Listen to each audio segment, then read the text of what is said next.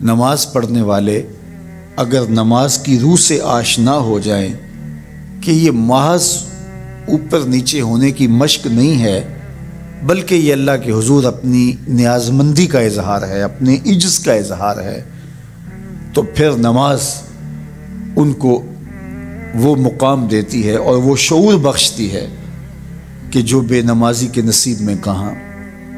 انسان کے اشرف اعضاء اس کے سر میں ہیں۔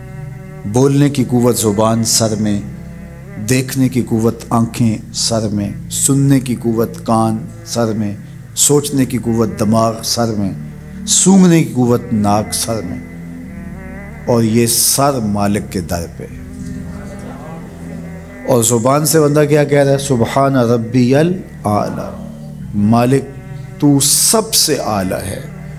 اور اپنا رویہ اور عمل کیا ہے کہ اپنی ناک بھی خاک پہ رکھی ہے، پیشانی بھی خاک پہ رکھی ہے۔ اور باقی عذاب بھی خاک پہ ہیں۔ تو گویا عملاً یہ بتا رہا ہے، مالک مجھ سے نیچا کوئی نہیں اور تجھ سے اونچا کوئی نہیں۔ اور اگر وہ نماز کی روح سے آشنا ہو جائے، تو سجدے سے، سر اٹھانے سے قبل قبل اللہ سارے اس کے بوجھ اتار دے۔ اس کے من میں روشنیاں کر دے۔ تو نماز بندگی کا شعور دیتی ہے، من میں چراغاں کرتی ہے۔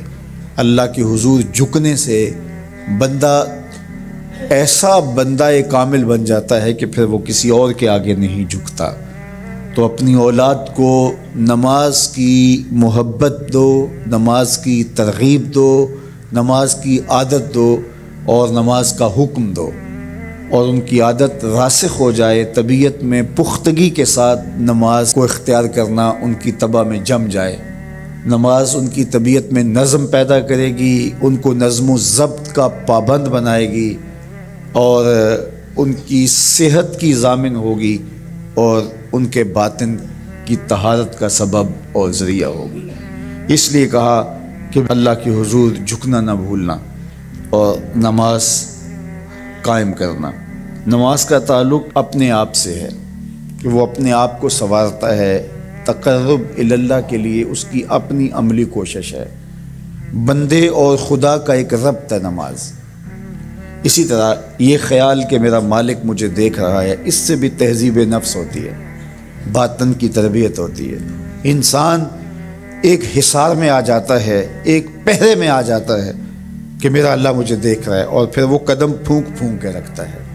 وہ اچانک لوگ بیٹھے ہوئے ہونا تو آج کل یہ سوشل میڈیا کا زمانہ ہے تو کوئی کیمرہ سیدھا کر لے تو ایک دم مرتب ہو جاتے ہیں۔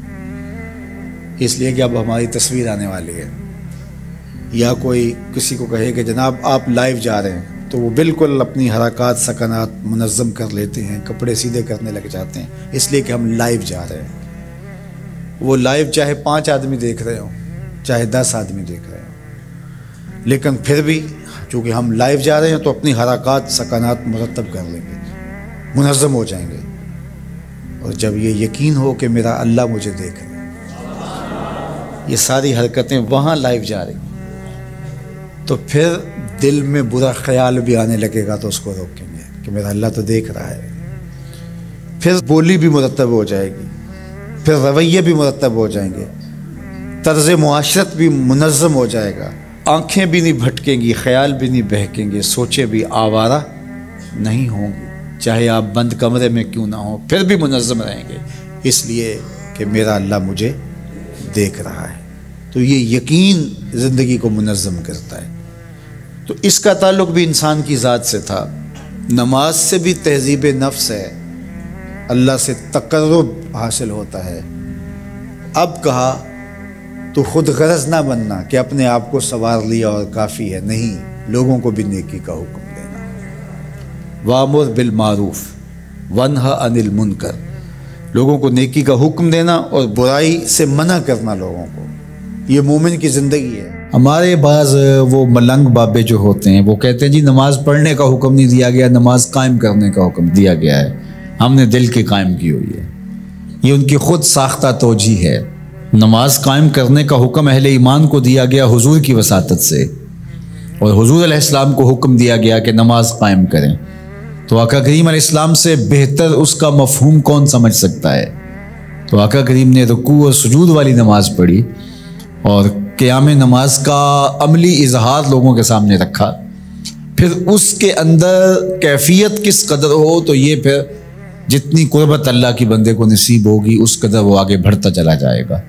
تو یہ باطل تو جہاد، یہ جاہل لوگوں کی، جس کے بدن سے بدبو کے ببوکے پھوٹ رہے ہوں اور جس کے جسم میں جوئیں پڑی ہوں اور جس نے چھ سال سے غسل نہ کیا ہو، وہ اس اعتماد سے کہہ رہا ہوتا ہے، ہم نے قائم کی ہوئی ہے، ہم نے دل کی قائم کی ہوئی ہے۔ اللہ اکبر۔ تو یہ اس معاشرے میں ایسے لوگوں کو ماننے والے اور ایسے لوگوں کی باتوں کو غور سے سننے والے اور ان جاہلانہ باتوں کو معرفت کی باتیں قرار دینے والوں کی کمی بھی نہیں ہے۔ تو اللہ تعالیٰ جل شاہ سے ہدایت مانگنی چاہیے کہ اللہ ہمیں ہدایت کا نور نصیب فرمائے۔ تو اقامت نماز سے کیا مراد ہے؟ اس کی فرائض کے ساتھ ادا کرنا یا پھر رکوع، سجود، تلاوت کا اتمام اور اس میں خوشو کا اور خضو کا اظہار اور اس میں مکمل ڈوب جانا کہ گویا تم اللہ کی عبادت کر رہے ہو تو اس کو دیکھ رہے ہو۔ حضرت عثمان غنی رضی اللہ تعالیٰ عنہ فرماتے ہیں کہ جس نے صحیح وضو کیا، حضور علیہ السلام سے روایت کہ جس نے صحیح وضو کیا، جس طرح میں نے وضو کیا ہے۔ اور دو رکت پڑی اور اس میں اس کو کسی غیر کا خیال نہ آیا، تو اللہ تعالیٰ اس کے پچھلے سارے گناہ معاف کر دیتا ہے۔ صرف دو رکت سے۔ لیکن اگر ساری نماز ہی خیالوں سے بھری پڑی رہی اور تصورات کہیں اور بھٹکتے رہے اور انسان کھڑا نماز میں ہے لیکن بہکتا کہیں اور رہا تو پھر وہ نماز کی صحیح اقامت نہیں ہوگی۔ تو اقامت سلاد سے مراد جو ہے، وہ یا تو اس کو فرائض و واجبات کے ساتھ ادا کرنا اور دوسرا مفہوم کے خوشو کے ساتھ پورے اراکین کا اعتدال اور اتمام۔ تو دونوں اس کے مفہوم بیان فرمائے گئے ہیں۔ تو ظاہر ہے کہ ابتدا کے اندر تو کوشش ہوگی کہ فرائض، واجبات پورے ہو جائیں تو وہ خوشو اگر نہیں بھی حاصل ہو پایا تو پھر بھی کوشش جاری رکھنی چاہیے۔ نہ یہ کہ اب وہ تو کیفیت ہی نہیں نصیب ہو رہی، تو میرا نماز پڑھنے کا کیا فائدہ؟ حضرت محدث کچھوچوی علیہ رحمہ سے کسی مرید نے کہا، حضرت نماز پڑھتا ہوں لیکن لطف نہیں آتا، مزہ نہیں آتا۔ تو آپ نے اسے سوالیہ انداز میں پوچھا کہ اس کے باوجود بھی پڑھتے ہو؟ اس نے کہا جی وہ تو فرض ہے، پڑھتا تو ہوں۔ تو آپ جھومنے لگے۔ فرمایا، واہ واہ، تمہیں مزہ نہیں آتا؟ پھر بھی پڑھتے ہو۔ اس کا مطلب ہے تم مزے کے لیے نہیں، اللہ کے لیے پڑھ رہے ہو۔ تو اگر لطف آ جائے، وہ کیفیت، وہ حض وہ تو بہت بڑی بات ہے۔ لیکن اگر نہیں بھی ہے، تو اس کا فریضہ تو ہے اس کی طرف سے جو عائد ہوتا ہے۔ تو وہ شکل بنا کے تو کھڑے ہوں، وہ صورت بنا کے تو کھڑے ہوں۔ تو کسی دن وہ کیفیت بھی پیدا ہو جائے گی۔ خورش دے بدر را جو کب کو حمام، کہ یک روز افتد ہمائے بدام۔ سادی شیرازی فرماتے ہیں کہ دانے ڈالتا رہے چوگا ڈالتا رہے، کبھی کبوتر آئے گا، کبھی کوا آئے گا، کبھی کوئی اور فاختہ آ جائے گی۔ لیکن کسی دن وہ بھی آ جائے گا جس کے لیے تم یہ سب کچھ کر رہے ہو۔ تو اس لیے محنت کو جاری رکھو، کوشش کرتے رہو۔ تو ایک دن انشاءاللہ اس کیفیت میں بھی چلے جاؤ گے۔ دروازہ کھٹکھٹانا چھوڑنا نہیں ہے۔ دستک دیتے رہو، کبھی تو بوا کھلے گا نا۔ کبھی تو آواز آئے گی، کھلا ہے دروازہ، آ جاؤ اندر۔ پھر اندر سرور کی وادی ہوگی، کیف کا جہاں آباد ہوگا۔ اور آقا کریم نے ہمارے لیے آسانی پیدا فرما دی کہ اللہ کی عبادت اس طرح کرو کہ گویا تم اسے دیکھ رہے ہو۔ اور اگر یہ نہیں، تو کم از کم یہ کیفیت تو ہو کہ وہ تمہیں دیکھ رہا ہے۔ تو اپنی اپنی کیفیت ہوتی ہے۔ بعض نماز کو ترک نہیں کرنا، بھرپور کوشش ہو کہ خوشو و خضو کے ساتھ نصیب ہو۔ نماز کا حکم صادر کیا گیا ہے۔ نماز اللہ کے قرب کا ذریعہ ہے۔ بندہ سجدے میں سب سے زیادہ اپنے رب سے قریب ہوتا ہے۔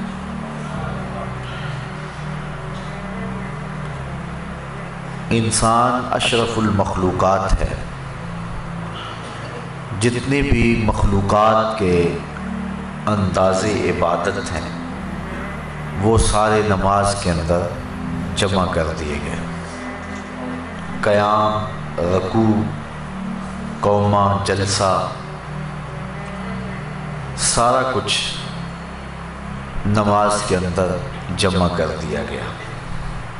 بلکہ ایک روایت میں آتا ہے کہ جب کوئی شخص نماز پڑھنے کے لیے کھڑا ہوتا ہے، تو فرشتوں کی دس صفحے ہیں جو تعجب اور رشک کرتی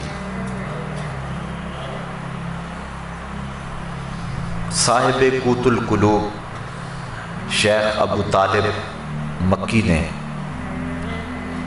اس کا مفصل تذکرہ فرمایا ہے کہ کچھ فرشتے قیام میں ہیں، کچھ فرشتے قعود میں ہیں، کچھ فرشتے رکوع میں ہیں، کچھ فرشتے سجدے میں ہیں۔ کچھ تسبیح کر رہے ہیں، کچھ تحلیل کر رہے ہیں، کچھ استغفار طلب کر رہے ہیں۔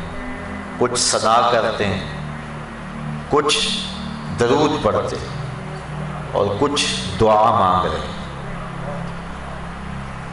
جو رکوع کرتا ہے، وہ ہمیشہ رکوع میں ہے۔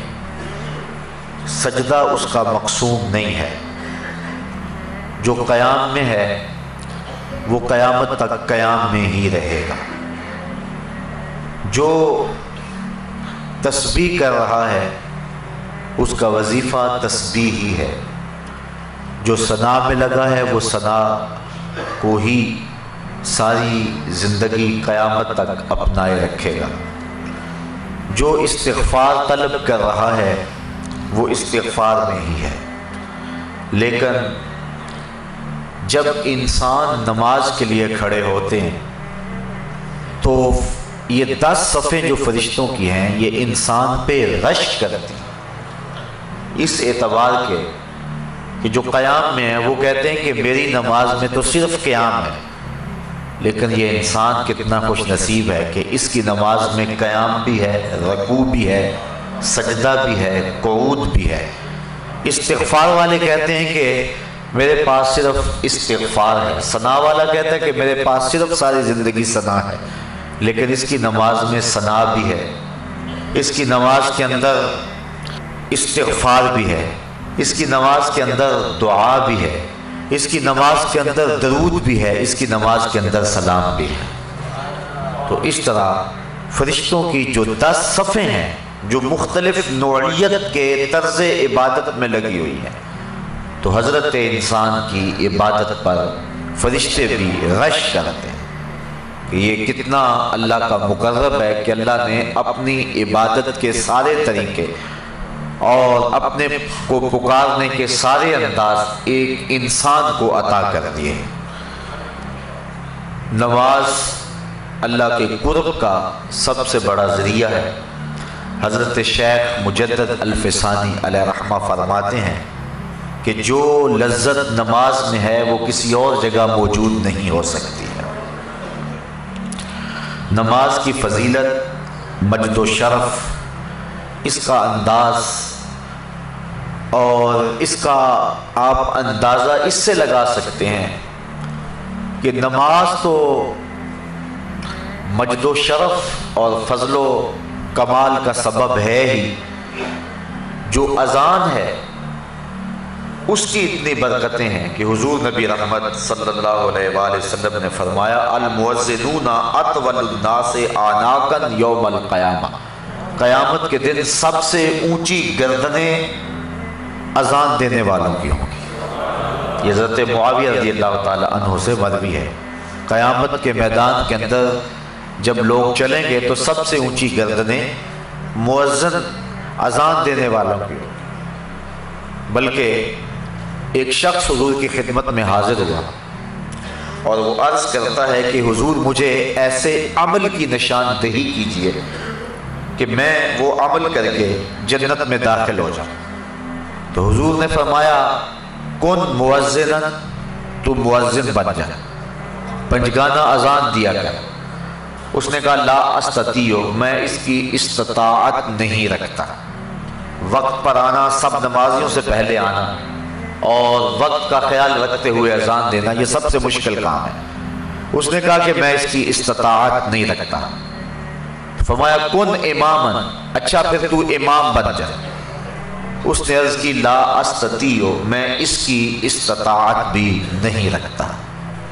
تو پھر حضور نے ارشاد فرمایا فکم بے الامام تو پھر امام کے پیچھے کھڑا ہو جانے والا ہو جا۔ تو اگر کوئی شخص جنت میں داخل ہونا چاہتا ہے تو ان تین چیزوں میں سے ایک چیز اس کو ضرور اختیار کرنا پڑے۔ گی یا معزز بن جائے یا امام بن جائے۔ یا امام کے پیچھے کھڑا ہونے والا ہو جائے۔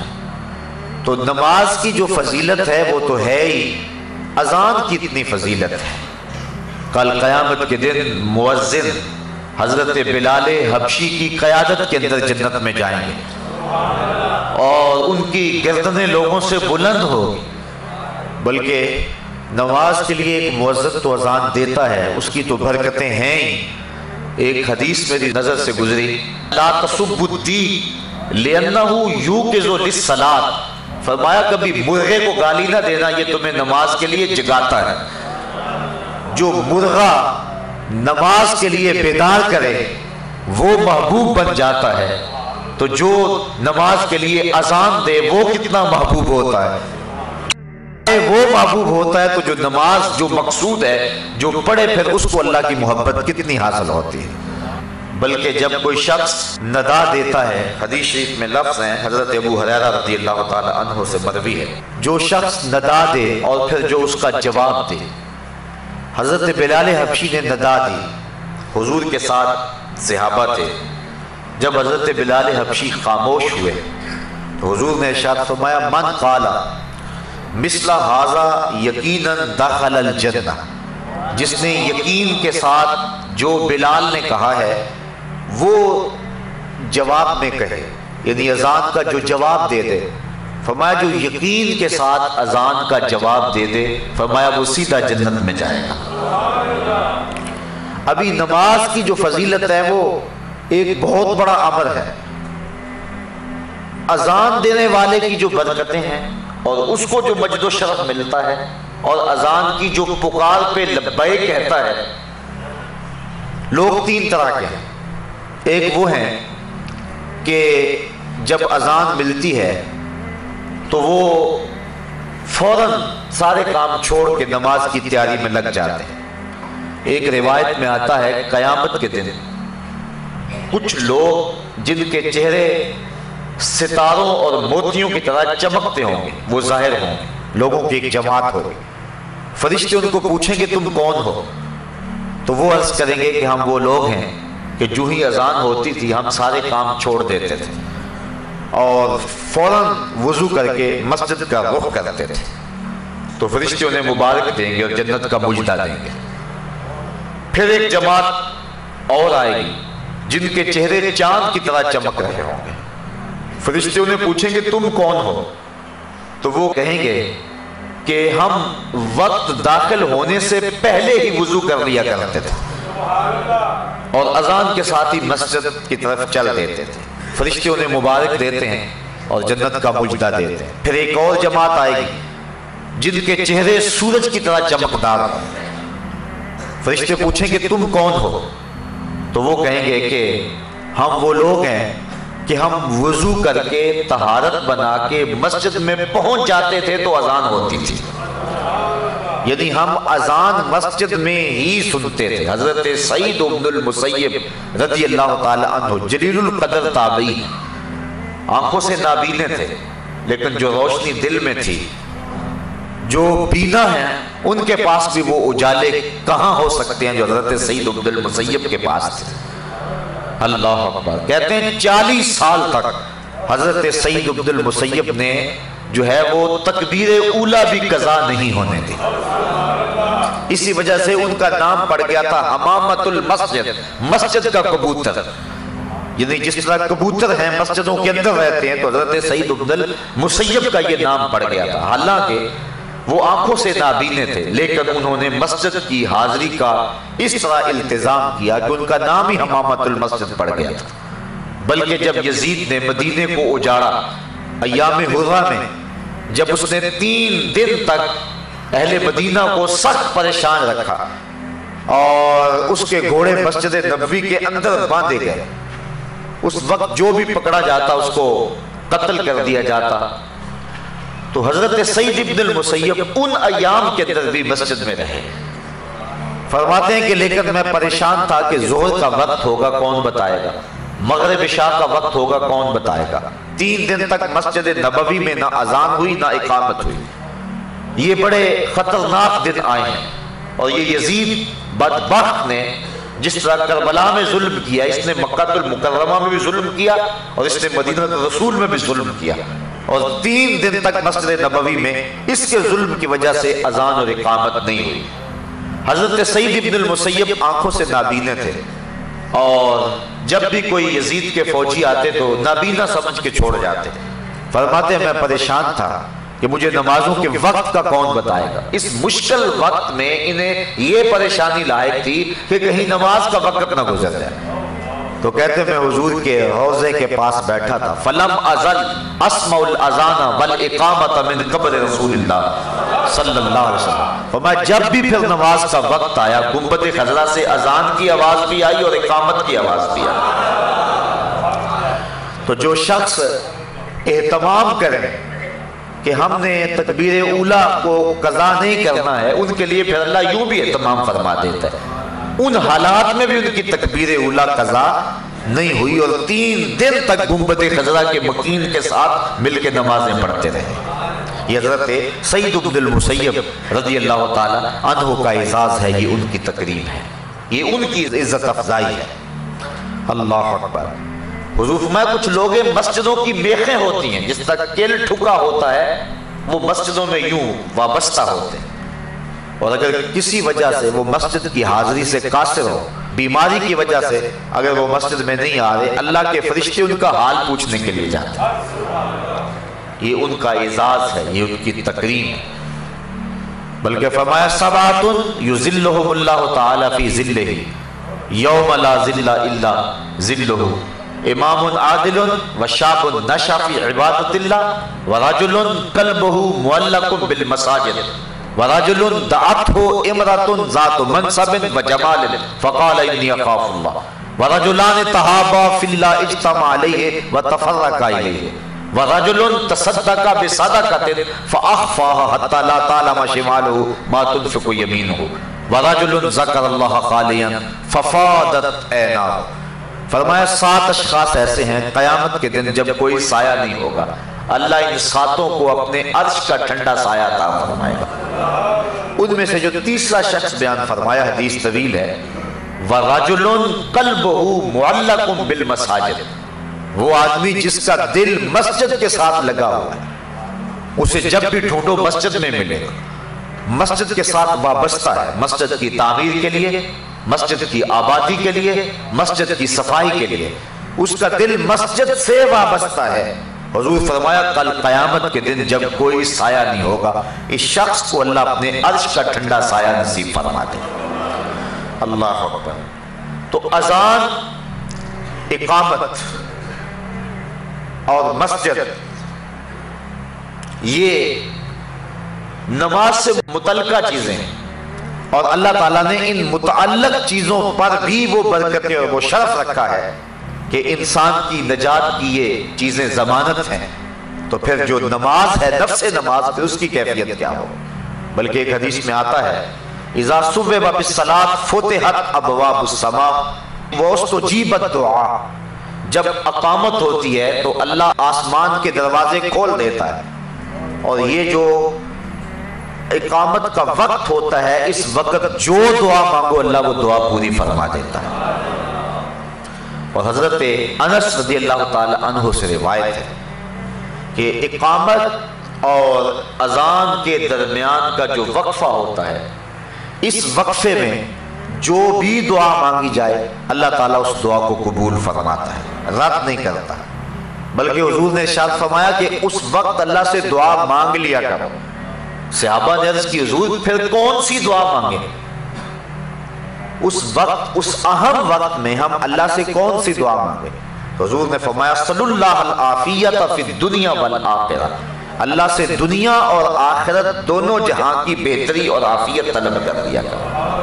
یعنی دنیا بھی ٹھیک ہو جائے، آخرت بھی ٹھیک ہو جائے۔ مومن دونوں جہانوں کا طلبگار ہے۔ ایک صحابی کو دیکھا، سخت کمزور ہے۔ فرمایا، تمہاری یہ حالت کیا ہوئی؟ عرض کی، حضور، میں نے اللہ سے دعا مانگی کہ جو دکھ، تکلیفیں میرے مقدر کی ہیں، وہ آخرت میں نہ آئیں، دنیا پہ ہی آ جائیں۔ اور میں دنیا پہ سارے دکھ اور عذاب اور مصیبتیں جھیل لوں، تاکہ میری آخرت صاف ہو جائے۔ بظاہر یہ بڑی ایک ایسی بات تھی جس پہ داد دی جاتی، کہ اس نے آخرت کو اختیار کیا۔ لیکن حضور اس بات پر خوش نہیں ہوئے۔ فرمایا، تو نے یہ کیوں کہا ہے؟ کہ میرے حصے کی جو تکلیفیں ہیں وہ دنیا پہ ہی آ جائیں، آخرت میں نہ آئیں۔ تو نے یہ کیوں نہیں کہا؟ ربنا آتنا فی الدنیا حسنتم وفی الاخرت حسنہ اے اللہ، مجھے دنیا میں بھی بہتریاں دے دے، آخرت میں بھی بہتریاں دے۔ دے جو مومن ہے، وہ دونوں جہاں کی بہتریاں چاہتا ہے۔ یہ نہیں ہے کہ دنیا کے اوپر پستے رہیں۔ ہم دنیا کے اوپر پسنے کے لیے نہیں آئے۔ امت مسلمہ، دنیا، آخرت دونوں کی طالب اور دونوں کی چاہنے والی اور اللہ کے خزانے بڑے وسیع ہیں۔ اس لیے جب اس سے مانگو تو کھل کے مانگو۔ تم اپنے دامن کو تنگ پاؤ گے اس کے خزانوں میں کمی نہیں ہے۔ اس لیے اپنے لیے بھی مانگو اوروں کے لیے بھی مانگو دنیا بھی مانگو دین بھی مانگو آخرت بھی مانگو۔ تو عرض کی گئی حضور اذان اور اقامت کے درمیان اللہ سے کیا مانگے؟ تو فرمایا صلی اللہ العافیت فی دنیا والآخرہ۔ اللہ سے دنیا اور آخرت کی عافیت طلب کر تو یہ قبولیت کے لمحے ہیں جو ہاں جو دعا کی جائے، اللہ اس دعا کو مستجاب فرماتا ہے۔ بلکہ نماز تو آگے آتی جب انسان وضو کے لیے، وضو کے لیے اپنے چلو میں پانی لیتا ہے، تو اللہ تعالیٰ اس کے چلو میں پانی لیتے ہی اس کے گناہوں کو معاف فرماتے تھے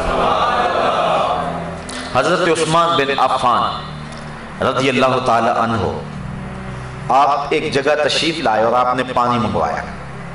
پھر اس کے بعد آپ نے وضو کیا اور وضو کرتے کرتے آپ مسکرانے لگے۔ جو لوگ پاس کھڑے تھے، حضرت عثمان ابن عفان انہیں کہنے لگے کہ تم نے مجھے پوچھا نہیں کہ میں مسکرایا کیوں لوگوں نے کہا اچھا آپ بتائیں کہ آپ کیوں مسکرائے ہیں؟ تو حضرت عثمان فرمانے لگے کہ ایک دن میں حضور علیہ السلام کے ساتھ تھا۔ تو آقا کریم علیہ السلام نے وضو کیا اور یوں مسکرائے۔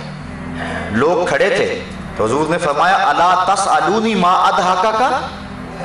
تم نے مجھے پوچھا نہیں، صحابہ، کہ میں مسکرایا کیوں؟ تو صحابہ نے عرض کی، ما ادھاکا کا یا رسول اللہ؟ حضور آپ ارشاد فرمائے نا کہ آپ کیوں مسکرائے؟ تو حضور نے ارشاد فرمایا، ان العبد اذا دعا بوضوء فغسل وجهه حتى الله عنه كل خطيه اصابها بوجهه واذا غسل ذراعيه كان كذلك واذا طهر قدميه كان كذلك فرمایا، جب کوئی شخص وضو کے لیے پانی منگواتا ہے اور پانی منگوا کے اپنے چہرے کو دھوتا ہے۔ اللہ ہر خطا کو چہرے سے دور کر دیتا ہے۔ اور اسی طرح جب وہ اپنے بازو دھوتا ہے، تو ہاتھوں کے سارے گناہ اللہ تعالیٰ دھو ڈالتا ہے۔ اور اسی طرح جب وہ اپنے پاؤں کو دھوتا ہے، تو اللہ تعالیٰ جل شانہ پاؤں کے سارے گناہوں کو دھو ڈالتا ہے۔ نماز کا فضل و شرف اور اس کی فضیلت وہ تو مسلمہ ہے۔ نماز سے پہلے جو عمل ہے، اللہ اس کی برکتوں سے گناہ گار کو جہنم کی آگ سے آزادی بخشتا ہے۔ بلکہ جس جگہ پر نماز پڑھنی ہے، اگر اس جگہ کو کوئی شخص اس کی صفائی ستھرائی کرے، ایک حدیث کے اندر لفظ ہے کہ اخراج القمامات منہا مہور الہور العین، جو شخص مسجد سے کوئی تکلیف دے چیز، کوڑا کرکٹ یا کوئی گندگی وہاں سے نکال کر کے باہر پھینکے تو حضور نے فرمایا، یہ موٹی آنکھ والی ہوروں کا حق مہر ہے۔ یہ جو مسجد کی صفائی کرتے ہیں، علماء نے لکھا ہے کہ مسجد صاف کرنے سے دل صاف ہوتا ہے۔ جو شخص مسجد صاف کرے، اس کا دل پاک اور ستھرا ہو جاتا ہے۔ اور یہ مسجد سے جو آپ کوڑا کرکٹ نکال کے باہر پھینکتے ہیں، یہ جنتی حور کا مہر ہے جو آپ ادا کر رہے ہیں۔ اللہ اکبر۔ بلکہ حضور علیہ السلام نے ارشاد فرمایا، من بنا للہ مسجدا جس نے اللہ کے لیے مسجد بنائی، کس لیے؟ یذکر فی ہے تاکہ اس مسجد میں اللہ کا ذکر ہو۔ فرمایا، بن اللہ لہو بیتن فی الجنہ، اللہ اس کے لیے جنت میں گھر بنا دیتا اور ایک روایت میں ہے کہ جس نے تتر کے گھونسلے کے برابر یعنی حجم میں تھوڑی جگہ پر مسجد بنائی۔ علماء نے یہ لکھا ہے۔ یہ نہ کہو فلاں مسجد چھوٹی ہے یا فلاں مسجد بڑی، یہ نہ کہو۔ کیونکہ کوئی بھی اللہ کا گھر چھوٹا نہیں ہے، سارے بڑے ہیں۔ یہ کہو فلاں میں نمازی زیادہ آتے ہیں، فلاں میں نمازی تھوڑے آتے ہیں۔ نمازیوں کی گنجائش کام میں فلاں میں۔ اور فلاں میں جو ہے وہ نمازیوں کی گنجائش زیادہ ہے۔ یہ کہو۔ بعض ہم، عموماً ہمارے ہاں روز مرہ یہی ہے۔ ہم کہتے ہیں وہ چھوٹی سی مسجد، چھوٹی نہیں کہنا چاہیے مسجد کو۔ جس چیز کا تعلق رب سے ہو جائے، پھر وہ چھوٹی نہیں رہتی، وہ بڑی ہو جاتی۔ اس لیے اس مزاج کو بدلنے کی ضرورت ہے، بلکہ واسف علی واسف نے ایک بڑی خوبصورت بات لکھی۔ اس نے کہا، مسجد کیا کوئی بھی شاید چھوٹی نہیں ہے۔ کوئی شاید چھوٹی تب نظر آتی ہے، اسے دور سے دیکھا جائے یا پھر غرور سے دیکھا جائے۔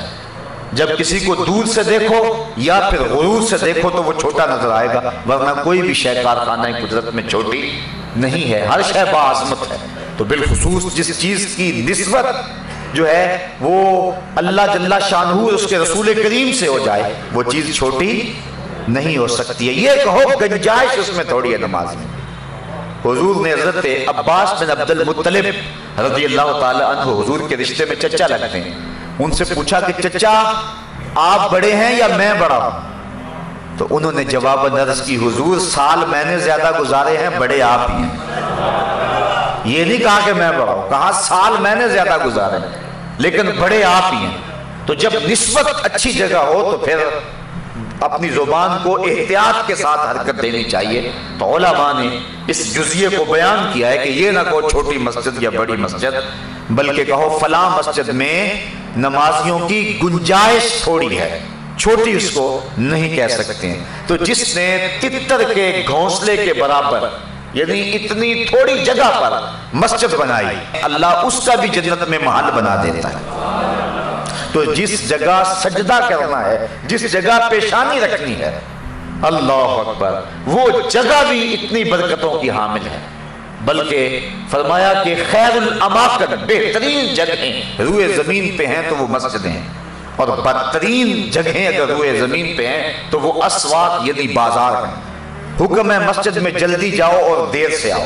بازار میں دیر سے جاؤ اور جلدی واپس آؤ۔ گو ہمارا انداز اس سے مختلف ہے۔ لیکن حکم یہی ہے کہ مسجد میں جلدی جاؤ، دیر سے واپس پلٹو۔ بلکہ ایک حدیث میں آتا ہے، جس نے نماز فجر مسجد میں پڑھی اور پھر وہ ذکر و اذکار میں لگا رہا، بیٹھا رہا، حتیٰ کہ سورج طلوع ہو گیا۔ اور پھر اس نے دو رکعت پڑھی، جس کو صلاۃ الاشراق کہتے ہیں۔ تو فرمایا، اس کو مقبول حج اور عمرے کا اللہ ثواب عطا فرماتا اللہ اکبر۔ تو یہ برکتیں ہیں اللہ کے پاک گھر کی جہاں نماز ادا ہونی ہے۔ باقی رہی بات نماز کی اس کی کیا فضیلت ہے؟ تو آئیے حضرت نبی رحمت صلی اللہ علیہ وسلم کا ایک فرمان جس کو امام بخاری نے حضرت ابو حریرہ رضی اللہ تعالی عنہ سے نقل کیا ہے۔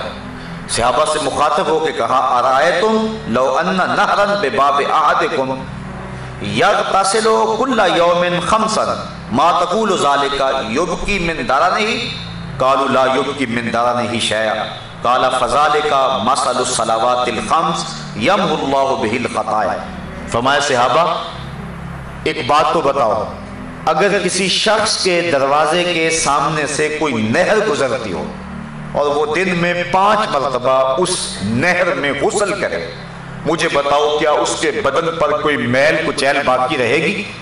صحابہ نے عرض کی، حضور، اس کے بدن پر کوئی میل باقی نہیں رہے گی۔ فرمایا، یہی پانچ نمازوں کی مثال ہے۔ جو شخص پنجگانہ نماز پڑھتا ہے، اس کے بدن پر گناہوں کا کوئی میل باقی نہیں رہتا۔ اللہ تعالیٰ گناہوں کو دھو دیتا ہے۔ جس شخص نے پنجگانہ نماز کا مزاج بنا لیا۔ صحابہ فرماتے ہیں، اور یہ بھی حضرت امام بخاری نے حضرت عبداللہ رضی اللہ تعالیٰ عنہ سے روایت نقل کی ہے۔ کہ حضور سے سوال کیا گیا، ایو العمل احب اللہ حضور سب سے زیادہ اللہ کو محبوب عمل کون سا ہے؟ یعنی کون سا وہ عمل ہے جو اللہ کو سب سے زیادہ محبوب ہے؟ قال الصلاة علی فرمایا، وقت پہ نماز پڑھنا۔ اولاد بنی آدم کے جتنے بھی اعمال ہیں، اچھے، نیک، صالح اعمال، ان میں سے اللہ کو سب سے زیادہ محبوب عمل جو ہے، وہ وقت پہ نماز پڑھنا ہے۔ سما ایو صحابہ نے عرض کی ضرور پھر اس کے بعد کالا سما بر الوالدین پھر والدین کے ساتھ حسن سلوک کرنا۔ نماز کے بعد سب سے زیادہ اہمیت والدین کے ساتھ اس نے سلوک کی ہے۔ آج کل من جملہ کباہتوں میں یہ کباہت بہت زیادہ پائی جا رہی ہے کہ لوگ اپنے والدین کی تعظیم نہیں کرتے، ان کی تسلیل کرتے ہیں۔ حضور نبی رحمت صلی اللہ علیہ وسلم کی خدمت میں ایک شخص حاضر ہوا اور اس نے عرض کی کہ حضور میرا بیٹا اپنی چیزوں کو مجھے ہاتھ نہیں لگانے دیتا۔ تو حضور علیہ السلام نے اس کے بیٹے کو بلایا، پوچھا، اس نے عرض کی، حضور، اس کو پتا نہیں ہے، تو یہ میری چیزیں خراب کر دیتا ہے۔ امام تبرانی نے موجب میں یہ روایت بیان کی، حضور کی آنکھوں میں آنسو آ گئے۔ اور حضور فرمایا، ایک وقت وہ تھا کہ اس کی چیزیں تو خراب کرتا تھا۔ اس نے تو نہیں کہا تھا کہ یہ میری چیزیں خراب کرتا اور میں ہاتھ نہیں لگانے دوں گا۔ پھر حضور نے وہ تاریخ ساتھ جملہ ارشاد فرمایا انتا و مالو کا لے ابی کا فرمایا، تو بھی اور تیرا مال بھی تیرے باپ کا ہے۔ یعنی باپ جس طرح چاہے تصرف کر سکتا ہے، تو اس کو روک نہیں سکتا ہے۔ تو والدین کی نافرمانی اللہ کی رحمتوں سے انسان کو محروم کر دیتی ہے۔ اور والدین کی فرما برداری اللہ کی رحمتوں کا حقدار بناتی ہے ایک حدیث میں آتا ہے کہ چار اشخاص ایسے ہیں کہ جب قیامت کا دن ہوگا تو جنت میں جانے سے انہیں کوئی شے بھی رکاوٹ نہیں ہوگی۔ ایک وہ شخص کہ جس نے ایسی سچی توبہ کی کہ گناہ کی طرف پلٹنا اتنا مشکل ہے، جس طرح تھن سے نکلا ہوا دودھ واپس جانا مشکل ہوتا ہے۔ اور دوسرا وہ شخص جس نے اپنے والدین کو راضی کر رکھا۔ اور تیسری وہ خاتون جو اس حال میں مری کہ اس کا شوہر اس کے اوپر راضی تھا۔ اور چوتھا وہ شخص جس کے ذرائع آمدنی تھوڑے ہیں، لیکن ایال کثیر ہے، اولاد زیادہ ہے، لیکن اس کے باوجود اس نے اپنی اولاد کے پیٹ میں حرام کا ایک لکمہ بھی نہ جانے دیا۔ تو فرمایا، کل قیامت کے دن کوئی چیز اس کو جنت میں جانے سے نہیں روک سکے۔ تو والدین کی فرما برداری کرنا، یہ نماز کے بعد اہم فریضہ ہے۔ والدین مبتلا ہیں تکلیف میں، اور بندہ کہتا ہے کہ میں جہاد پہ جاؤں، حضور نے اس کی حوصلہ شکنی فرمائی، اور وہ بخاری شریف کی روایت ہے۔ ایک شخص نے اذن جہاد طلب کیا۔ تو فرمایا، احیون والدہ کا کیا تیرے والدین زندہ ہیں؟ کالا نعم۔ عرض کی ہاں حضور میرے والدین زندہ ہیں۔ کالا ففیہ ما فجاہد۔ کہا، جا، ان کی خدمت کر، یہی تیرا جہاد ہے۔ والدین فالغ زدہ اور بیٹا تبلیغی چلا کاٹنے گیا ہو۔ اسلام تو اس کی حوصلہ افزائی نہیں کرتا۔ ماں باپ کو ضرورت ہو اور بیٹا پیر کی چوکھٹ پہ جا کے بیٹھا ہو، اسلام تو اس کی حوصلہ افزائی نہیں کرتا۔ ہمارے سامنے حضرت ویسے کرنے کی مثال موجود ہے۔ حضور کمیز کے بٹن کھول کھول کے لمبے سانس لیا کرتے تھے۔ اور فرماتے ہیں مجھے یمن سے یار کی خوشبو آتی ہے۔ کسی نے کہا، حضور، وہ کون ہے جو آپ کو ملنے بھی نہیں آیا؟ لوگ کہاں کہاں سے آگے یمن تو دور بھی نہیں ہے۔ تو وہ ملنے بھی نہیں آیا آپ کو؟ تو فرمایا، اس کی بوڑھی اور نابینا ماں ہے، جس کی خدمت اسے میرے حضور آنے سے روکے ہوئے۔ بلکہ فرمایا، کوئی اویس کو ملے اور میرا سلام دے اور اس کو کہے کہ میری امت کی بخشش کی دعا کرے۔ حضرت عمر فاروق اور حضرت علی المرتضی دونوں گئے، حضور کا سلام پیش کیا۔ حضرت اویس کرنی نے جب سنا تو آنکھوں میں آنسو ڈھالا ہے اور بار بار کہتے تھے، بتاؤ حضور کے لبوں پہ میرا نام کیسے آیا تھا؟ کیسے کہا تھا اویس کو سلام دینا؟ جب محبتوں کے امجتے ہوئے یہ جذبے دیکھے، کہا، اتنا پیار حضور سے تو ملنے کیوں نہیں آیا؟ جب یہ بات کہی تو حضرت اویس نے روح کو بدلا، کہا، تم نے میرے رسول کو دیکھا ہے؟ کہا ہاں ہم تو شام سویرے رہتے خدمت میں تھے۔ کہا پھر بتاؤ حضور کے ابرو جڑے ہوئے تھے یا کھلے ہوئے تھے؟ اب یہ حیرت زدہ ہو گئے۔ کہا، مجھ سے پوچھ لو جس نے نہیں دیکھا۔ کوئی دور سے دیکھتا تو جڑے ہوئے نظر آتے، قریب آ کے دیکھتا تو کھلے ہوئے نظر آتے۔ تو معلوم یہ ہوا کہ جو ماں باپ کی خدمت میں رہا، وہ حضور کی صحبت سے بھی معلوم نہیں رہا۔ حضور کے قرب کی دولت سے بھی وہ مالا مال رہا ہے۔ حضرت بائزید بستانی کہتے ہیں کہ میں نے اپنی ماں کے آگے ہاتھ جوڑے۔ میں نے کہا، امی، تیرے حق ادا کروں یا کہ اللہ کے حق ادا کروں؟ اپنے حق معاف کر دے، میں اللہ کو منا لیتا ہوں۔ ماں نے کہا، جاؤ بیٹا، بارہ سال جنگلوں میں گھومتے رہے۔ ایک دن گستام کے قریب سے گزر رہے تھے، دل میں خیال آیا، جاتے جاتے ماں کو سلام کر جاؤں دروازے کو دستک دینے لگا، رات کا موقع تھا۔ خیال آیا کہ ساری زندگی ماں کو سکھ نہیں دیا، دکھ بھی کیوں دوں؟ ماں سوئی ہوگی، میرے لیے اٹھے گی، دروازے کے ساتھ لگ کے کھڑے ہو گئے۔ سردیوں کی لمبی رات تھی، ساری رات بیت گئی۔ جب سحری کا وقت ہوا، اندر سے جو نالی آتی تھی، وہاں سے پانی آیا۔ سمجھ گئے میری ماں سحری کے لیے اور تحجد کے لیے بیدار ہوئی اور یہ اس کے وضو کا پانی ہے۔ دروازے کو دستک دی اندر سے آواز آئی، بیٹا با یزید ٹھہرو، میں آتی ہوں۔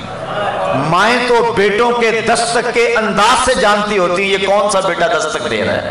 یہ ماں کا پیار ماں نے دروازہ کھولا۔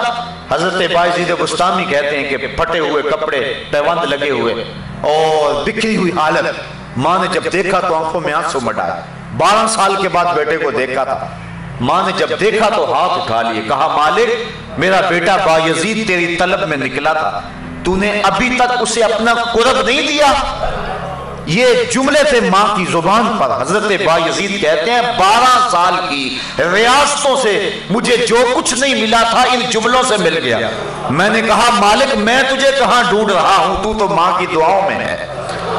تو اگر والدین ناراض ہیں تو عبادت عبادت نہیں ہے۔ اور ایک روایت میں آتا ہے، جس نے والدین کو تنگ کیا اور اس کے والدین ناراض تھے، قیامت کے دن وہ جنت کی خوشبو بھی نہیں پائے گا۔ اور جنت کی خوشبو پانچ سو سال کی مسافت سے آنا شروع ہو جائے گی۔ لیکن وہ جنت کی خوشبو بھی نہیں پائے گا جس کے والدین اس پہ راضی نہیں ہیں۔ تو فرمایا، پہلی چیز کیا؟ اللہ کو جو محبوب ترین عمل ہے، وہ وقت پہ نماز پڑھنا ہے۔ دوسرا محبوب عمل بر الوالدین، والدین کے ساتھ حسن سلوک کرنا۔ صحابہ نے عرض کی سم آئیو حضور، پھر کون سا عمل ہے؟ کالا الجہاد فی سبیل اللہ۔ کہا، اللہ کے راستے کے اندر جہاد کرنا تو سب سے اولیت نماز کو، پھر اس کے بعد والدین کے ساتھ اس نے سلوک کرنے کو، اور پھر تیسرے نمبر پہ حضور نے جہاد کا ذکر فرمایا۔ حضرت سلمان فارسی رضی اللہ تعالی عنہ سے ایک روایت ہے، اور روایت بیان کرتے ہیں حضرت ابو عثمان رضی اللہ تعالی عنہ۔ کہتے ہیں، ایک دن میں حضرت سلمان فارسی رضی اللہ تعالی عنہ کے ہمراہ کسی سفر میں تھا۔ خزان کا موسم تھا اور درختوں کی شاخوں کے اوپر جو پتے تھے وہ زرد ہو گئے ہوئے تھے۔ ایک درخت آیا جس کی ایک شاخ لٹک رہی تھی اور جس کے اوپر زرد پتوں کا گہنا تھا۔ حضرت سلمان فارسی نے اس شاخ کو پکڑا اور جھٹکا دیا۔ جتنے پتے تھے گر گئے۔ اس منظر کو دیکھ کر کے میں محظوظ ہو رہا تھا کہ حضرت سلمان فارسی میری طرف توجہ پذیر ہوئے۔ اور کہنے لگے، ابو عثمان تو نے پوچھا نہیں کہ میں نے ایسا کیوں کیا ہے؟ تو میں نے کہا کہ حضرت، آپ بتا دیجیے، آپ نے ایسا کیوں کیا ہے؟ کہا، ایک دن میں حضور کے ساتھ تھا۔ سفر کا موقع تھا اور موسم یہی تھا۔ درخت کی ایک شاخ لٹک رہی تھی جس کے اوپر زرد پتے تھے۔ حضور آگے بڑھے اور شاخ کو پکڑ کے حضور نے جھٹکا دیا۔ تو جتنے بھی اس کے اوپر پتے تھے، سارے گر گئے اور شاخ اسی طرح خالی ہو گئی۔ تو میں بھی اس منظر کو دیکھ کے معزوز ہوتا رہا۔ حضور نے میری طرف توجہ کی اور فرمایا، سلمان، تو نے مجھے پوچھا نہیں کہ میں نے ایسا کیوں کیا؟ حضرت سلمان فارسی کہتے ہیں، میں نے عرض کی، بندہ نواز، آپ ارشاد کرتے ہیں کہ آپ نے ایسا کیوں کیا؟ تو حضور نے فرمایا، جس طرح میں نے اس شاخ کو جنبش دی اور اس کے اوپر کوئی پتہ باقی نہیں رہا۔ جب کوئی شخص نماز کے لیے کھڑا ہوتا ہے، اس طرح سارے گناہ اس کے بدن سے جڑ جاتے ہیں۔ تو یہ نماز کی برکات ہیں۔ حضور نے ارشاد فرمایا، مفتاح الجنت الصلاۃ جنت کی چابی نماز ہے۔ یعنی چابی کے بغیر تالا نہیں کھلتا۔ تو اگر جنت میں جانے کی آرزو ہے، تو پھر نماز کی ادائیگی کا مزاج بنانا ہوگا۔ نماز کی ادائیگی کا مزاج بنا لیں گے تو یہ جنت کو کھولنے والی مفتاح الجنہ جنت کی یہ چابی ہے۔ بلکہ حضور علیہ السلام نے اشارت فرمایا، اولو ما یحاسب بہل عبد یوم القیامہ، الصلاة. قیامت کے دن بندے سے سب سے پہلا سوال نماز کا ہوگا۔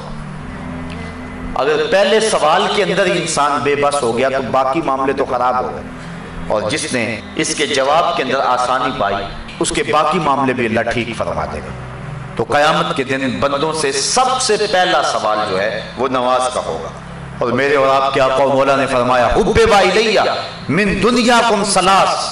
لوگوں، تمہاری دنیا سے مجھے صرف تین چیزیں پسند ہیں۔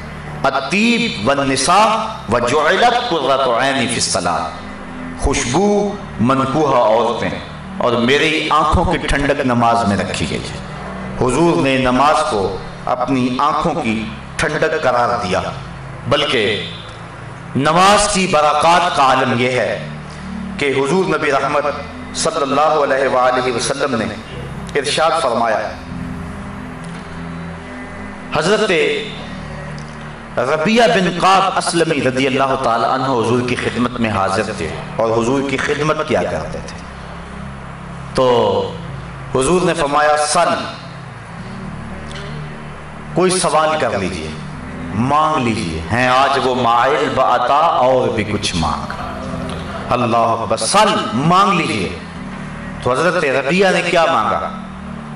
حضرت ربیہ کہتے ہیں، فقل تو، میں نے عرض کی اسعالو کا مرافقت کا فی الجنہ۔ حضور، یہاں جس طرح مجھے آپ کا قرب حاصل ہے، جنت میں بھی آپ کا قرب نصیب ہو جائے۔ جنت کا لطف تو تبھی نصیب ہوگا کہ اگر آپ کی مرافقت نصیب ہو جائے۔ تو حضور علیہ السلام نے فرمایا، او غیر ظالم یہ تو مل گیا، کچھ اور مانگ لو۔ اللہ اکبر۔ تو میں نے عرض کی فقل تو ہوا ذاک۔ میں نے کہا، حضور، بس یہی کافی جنت میں آپ کا قرب مل جائے تو مجھے اور کیا چاہیے؟ شاید اسی کا نام ہے توہین جستجو۔ ہو منزل کی تلاش تیرے نقشے کفے پا کے بعد۔ اگر آپ کا قرب نصیب ہو جائے تو مجھے اور کسی چیز کی طلب رہتی نہیں ہے، کوئی بھوک ہی نہیں باقی رہتی۔ میں نے کہا، بس حضور، کافی ہے۔ ہوا ذا بس کافی ہے۔ حضور نے فرمایا فَآئِنِّي عَلَى نَفْسِكَ بِكَسْرَتِ السُّجُود. تو فرمایا کہ کسرت سجود کے ساتھ میری مدد کرنا۔ یعنی اگر تم جنت جانا چاہتے ہو، میں تمہیں وعدہ دیتا ہوں، لیکن یہ نہیں کہ میرے وعدے پر تم جنت کی آرزو میں، جنت کی خواہش میں جو میں نے تم کو وعدہ دیا، وہ وعدہ پورا ہوگا، لیکن اس کا یہ مطلب نہیں کہ تم سجدے چھوڑ دو۔ فرمایا، اس وعدے کی تکمیل کے لیے تم نے میری کسرت سجود کے ساتھ مدد کرنی ہے۔ تو جنت کی چونکہ چابی ہی نماز ہے، اس لیے حضور نے حضرت ربیہ کو جنت کی بشارت دینے کے بعد بھی یہ بات کہی کہ کسرت سجود سے تو نے میری مدد کرنی ہے۔ کچھ لوگ حدیث کا پہلا حصہ تو بیان کر دیتے ہیں، اگلا حصہ چھوڑ دیتے ہیں۔ حضور نے وعدہ جنت دیا لیکن اس کا یہ مطلب نہیں ہے کہ وعدہ جنت کے بعد وہ سجدوں کو چھوڑ دے۔ حضور نے دس صحابہ اشرا مبشرہ کے لیے وعدہ جنت دیا۔ ہے لیکن اس کے باوجود وہ نماز کے معاملے کے اندر کبھی کسی سستی کا ارتقاب نہیں کیا کرتے تھے بلکہ وہ بہت زیادہ کثرت کے ساتھ سجدے کرنے والے تھے۔ حضور نبی رحمت صلی اللہ علیہ وآلہ وسلم نے ارشاد فرمایا اور ایک حدیث سنیے۔ اس کو روایت حضرت عبداللہ ابن عمر رضی اللہ تعالی عنہ فرماتے ہیں کہ صلینا ما رسول اللہ صلی اللہ علیہ وسلم المغرب۔ ہم نے حضور کے ساتھ مغرب کی نماز پڑھی۔ فرجع من رجع و اقب من اقب۔ کچھ لوگ چلے گئے اور کچھ لوگ مسجد میں ہی بیٹھے رہے۔ فجاء رسول اللہ صلی اللہ علیہ وسلم مسرعان حضور تشریف لائے۔ اور حالت یہ تھی کہ حضور بڑے تیز تیز قدم اٹھا کے جہاں صحابہ بیٹھے تھے، ادھر آ رہے تھے۔ اور پھر حضور نے جب صحابہ کو دیکھا، کالا، اب شروع۔ فرمایا، مبارک ہو، خوشخبری ہو تمہیں۔ حاضا ربکم قد فتح باب من ابواب السماء تمہارے رب نے آسمان کے سارے دروازے کھول دیے۔ یہ تمہارا رب ہے۔ اور اس نے آسمان کے سارے دروازے کھول دیے ہیں۔ یباہی بکم الملائکہ۔ اور وہ فرشتوں میں فخر کر رہا ہے، تمہاری وجہ سے۔ فرشتوں کے اندر اللہ فخر فرما رہا ہے۔ اور کیا فرما رہا ہے؟ یقول وہ کہتا ہے، انظروا الى عبادی، قد قدو فریضتا وهم ينتظرون اخرى اللہ فرماتا ہے، اور میرے بندوں کو دیکھو۔ انہوں نے ایک نماز پڑھ لی ہے اور دوسری نماز کے انتظار میں بیٹھے ہوئے ہیں۔ تمہارے اس عمل کی وجہ سے اور تمہارے اس دوسری عشاء کی نماز کے انتظار کی وجہ سے اللہ فرشتوں میں فخر فرما رہا ہے۔ فرشتوں ذرا جھک کے، نظر دھڑا کے، ذرا میرے بندوں کی ادا کو تو دیکھو کہ وہ ایک نماز پڑھ کے دوسری نماز کا انتظار کر رہے ہیں۔ تو نماز کا طالب جو ہے وہ اللہ جل شانہ اس پہ فخر کرتا ہے۔ حالانکہ بندے کو عجز اور نیاز مندی کے اظہار کے لیے نماز پڑھنا ہوتی ہے، لیکن نماز پڑھنے والے پہ اللہ کتنا راضی ہوتا ہے کہ فرشتوں کو کہتا ہے اور آسمان کے سارے در کھول کے کہتا ہے فرشتوں دیکھ لو میرے بندوں کو۔ چونکہ فرشتوں نے کہا تھا کہ سجدے تو ہم کریں گے، رکوع تو ہم کریں گے۔ یہ تو دھینگا مشتی کریں گے، یہ تو فساد و شر پھیلائیں گے۔ اللہ فخر کرتا ہے اپنے ان بندوں پہ جو ایک نماز کے بعد دوسری نماز کے منتظر ہوتے ہیں۔ اور فرشتوں کہتا ہے، دیکھو میرے بندوں کو. تم تو کہتے تھے کہ یہ لڑائی کریں گے، دیکھو کہ نماز پڑھ لیا، گھر کو نہیں جا رہے کہ دوسری پڑھ کے جائیں گے۔ اللہ بندوں کے اس عمل پہ جو ہے وہ فرشتوں کے اندر فخر فرما رہا ہے۔ حضور نبی رحمت صلی اللہ علیہ وآلہ وسلم نے ارشاد فرمایا، من ترک الصلاة متعمدا فقد کفر جہارا جس نے جان بوجھ کے نماز چھوڑی، گویا اس نے اعلانیہ کفر کیا ہے۔ اور ایک حدیث کے لفظ سنیے۔ حضور نبی رحمت صلی اللہ علیہ وسلم نے نمازیوں کو بشارت دی، جو پنجگانہ نماز جماعت کے ساتھ پڑھتے ہیں۔ اور ساتھ یہ بھی ارشاد فرمایا کہ جو لوگ نماز نہیں پڑھتے ہیں، کل قیامت کے دن دشمنان خدا، امیہ کے ساتھ اور حامان کے ساتھ، قارون کے ساتھ اور فرعون کے ساتھ کل قیامت کے دن کھڑے کر دیے جائیں گے۔ ہم میں سے کیا کوئی شخص یہ چاہتا ہے؟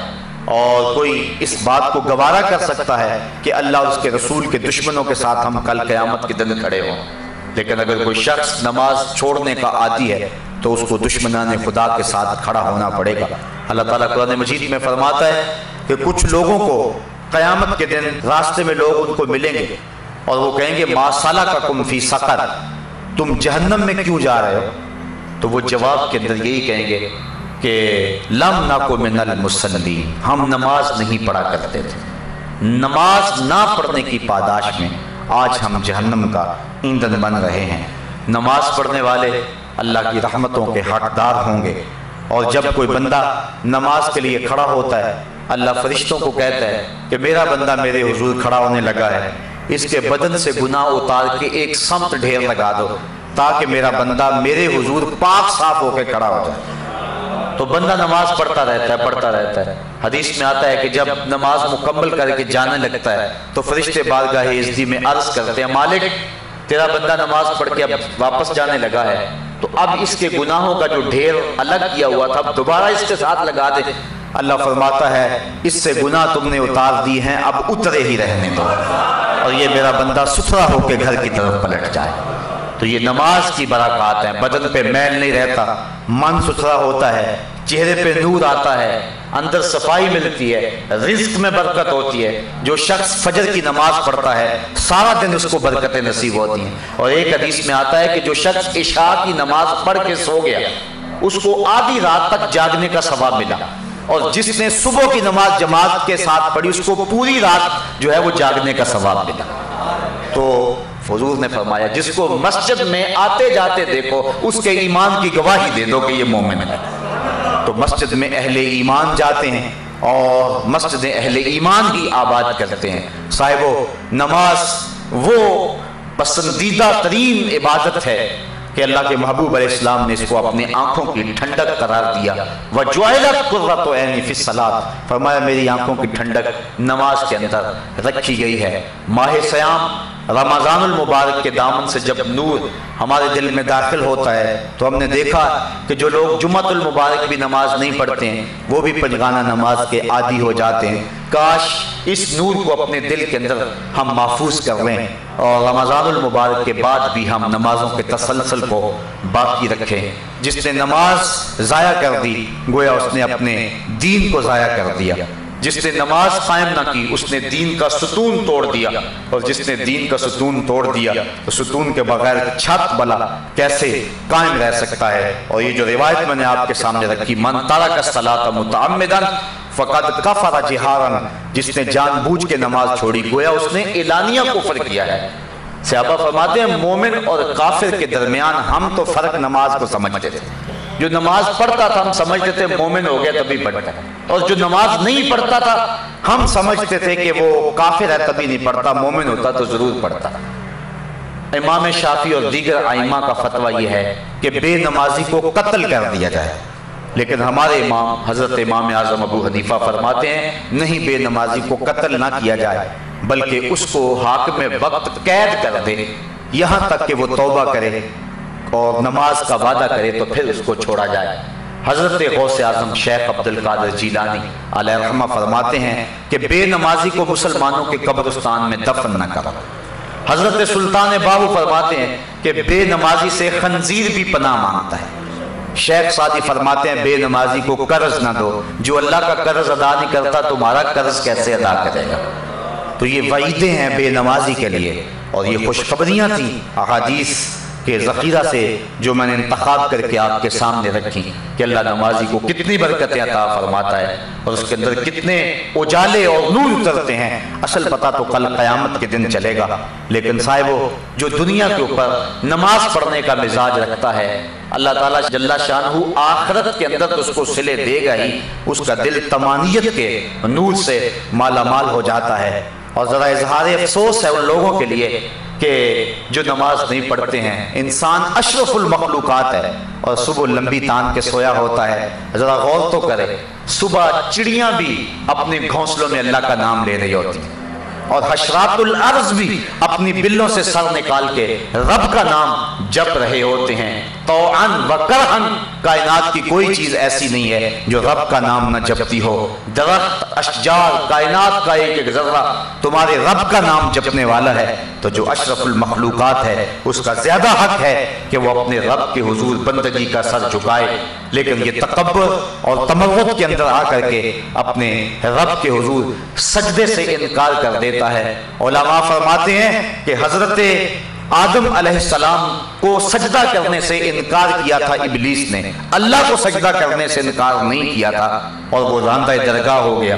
اور جو شخص ساڑھے سات سو مرتبہ حکم کے باوجود اپنے رب کو سجدہ نہیں کرتا ہے، اس کا پھر ٹھکانہ کیا ہوگا؟ شیطان نے تو حضرت آدم کو سجدہ نہیں کیا تھا، رب کو تو کرتا تھا۔ تو اللہ نے اس کو بھی راندہ درگاہ کر دیا۔ اور جو رب کو سجدہ نہیں کرتا ہے، تو پھر اس کا ٹھکانہ کیا ہوگا؟ یہ سوچنے کی بات ہے اور بار بار سوچنے کی بات ہے۔